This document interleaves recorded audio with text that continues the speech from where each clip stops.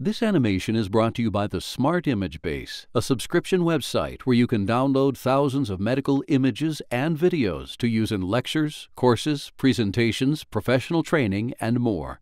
For more information, click on the link in the description. Let's look at the difference between qualitative and quantitative data. Scientists observe and collect different types of information called data. So, what kind of data can we collect? Well, the two main types of data are qualitative data and quantitative data. Qualitative data includes descriptions that do not contain numeric values. Notice the word qualitative has quality embedded in it.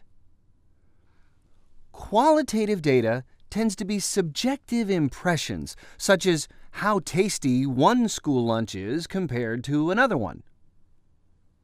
As you can see, qualitative data consists of observable things that can be described and recorded in ways other than numerically. Now, let's talk about quantitative data. Unlike qualitative data, Quantitative data contains numbers obtained by counting or measuring. Notice the word quantitative has quantity embedded in it. For example, recording quantitative data can be as simple as counting specific things, such as the number of boys in your class compared to the number of girls. Quantitative data can also be measurements of length, width, height, volume, as well as mass or temperature. Sometimes scientists will break down quantitative data into specific types called discrete data and continuous data. Discrete data can only have a certain exact value, which can't be subdivided. For example, if you roll a typical pair of dice, you can roll a 2 or a 3, but it's impossible to roll a 2.5. You can only roll a whole number between 2 and 12.